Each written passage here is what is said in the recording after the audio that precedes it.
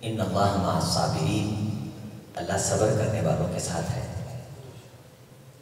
تو صبر یہ بہت بڑی دولت ہے، بہت بڑی طاقت ہے، بہت بڑی قوت ہے۔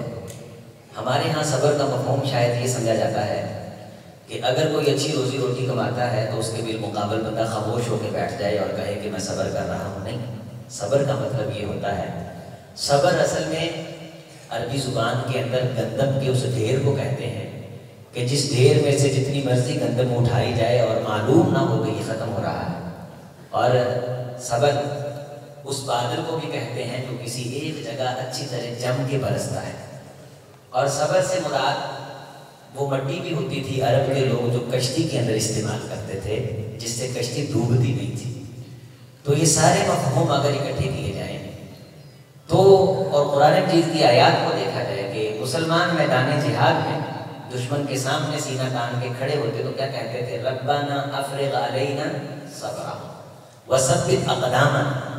تو صبر کا اصل مفہوم یہ ہے کہ اپنے محنت کے میدان میں اتنا ڈٹ جانا کہ مشکلیں آتے آتے خود بخود تھک جائے یہ شخص ہے صبر کرنے والا۔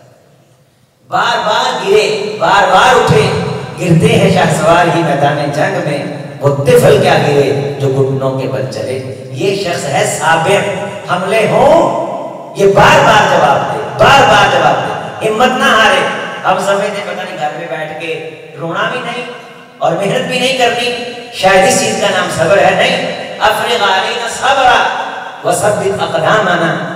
اب دشمن کے مقابلے میں کھڑے ہو گئے، ہمیں ڈٹ جانے کی توفیق دے۔ تو صبر، ڈٹ جانے کا نام ہے کہ بندہ ڈٹ جائے۔ پریشانی آئے تو ڈٹ جائے۔ اور پھر وہ کام کرے کہ اللہ تعالیٰ ایک دن آئے گا کہ اس پریشانی کو دور کر دے۔ تو قرآن کے معنوں میں صابر شخص وہ ہے جو استقامت کے ساتھ ڈٹ کے برابر اپنے مقصد کی طرف بڑھتا چلا جائے تو اللہ تعالیٰ اس کے لیے آنے والی زندگی بھی آسان کر دیتے ہیں اور منزلیں بھی اللہ اس کے لیے آسان کر دیتے ہیں۔